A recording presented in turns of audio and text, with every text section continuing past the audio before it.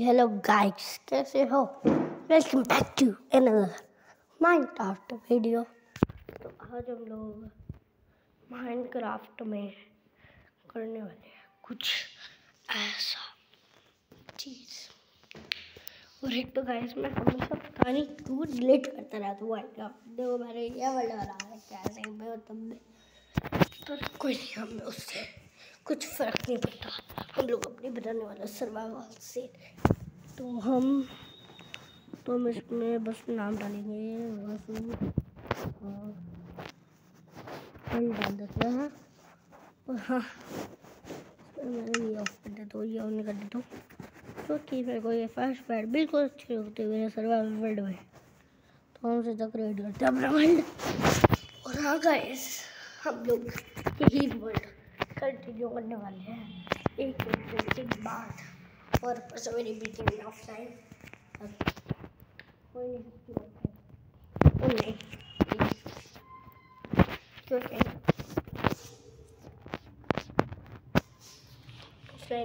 पाएगी।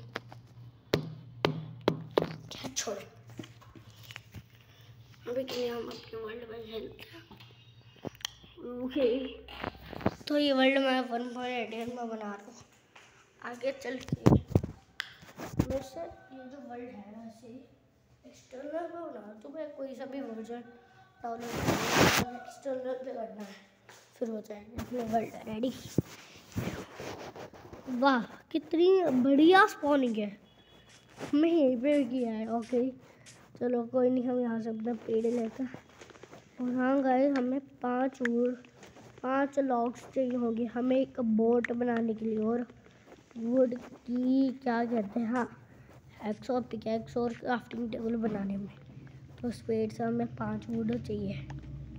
मतलब पाँच लॉक्स मुझे बता नहीं जो लॉक्स होते हैं, मैं उस वुड को लेकर रहा हूँ बर्च वुड प्लान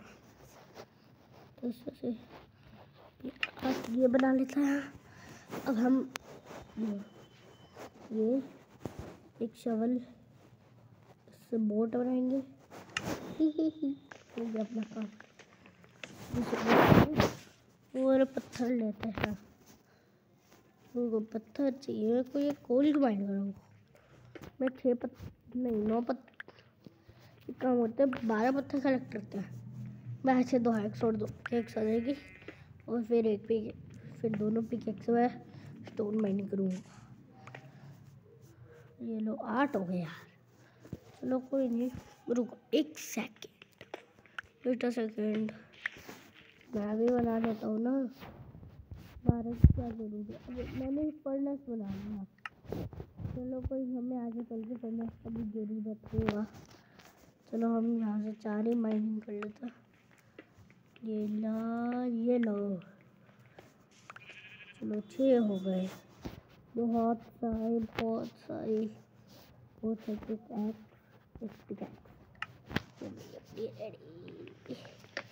ये माइनिंग कर लेते हैं। और हाँ गाइस एक चीज़ आपको मैं बता दूँ कि आप कभी भी वुडन पिकैक्स से बस आप ये गोल माइनिंग कर सकते हो। अगर आप एक न्यू प्लेयर हो माइंड क्राफ्ट के। मैं बता रहा हूँ वार्निंग है, ये वार्निंग न्यू प्लेयर माइनक्राफ्ट वालों के लिए. अब अगर आप मेरे फ़ैन हो तो आपको तो मेरे को पता ही होगा कि मैं हमेशा मैं हमेशा दो स्टैक कलेक्ट करता हूँ. तो दो स्टैक कलेक्ट करने से ये होता है कि मेरे को जब चाहिए होगा और मेरे पे कम होगा तो मैं ज़्यादा माइनिंग कर सकता हूँ. स्टोन से है मतलब ये ऐसा रहेगा कि दो स्टैक से तो मेरे पे थोड़ा सा कम पड़ी मेरे घर के लिए। तो मैं वो दो स्टैक बचे होंगे तो मैं वैसे दो स्टैक नहीं बचेंगे, एक स्टैक तो यूँ ही ख़त्म हो जाएगा। आई थिंक सो अगर मैं करेक्ट होता। हूँ और ओके या प्लीज़ यार इससे दो स्टैक कलेक्ट हो जाए यार। दो स्टैक चाहिए। एक स्टोन पिकैक्स हो जाएँगे। हो सकते हैं। हो सकते हैं। हाँ हो सकते हैं क्या पता। क्या पता भाई, कुछ भी हो सकता है। कुछ भी लिटरली कुछ भी हो सकता है। मैं बता दो तो मेरे को फ़ूड भी चाहिए रहेगी मेरा घर की। और हाँ गाइस अगर मेरे को विलेज मिला तो आप ये मत कहना कि मैंने कोई सीड वीड लगाया है, कि ये नॉर्मल रैंडमली माइनक्राफ्ट कोई भी सीड पकड़ा देगा। हम कोई सीड डालते नहीं हैं। वर्ल्ड क्रिएट करते ही जो माइनक्राफ्ट वाले हैं ना।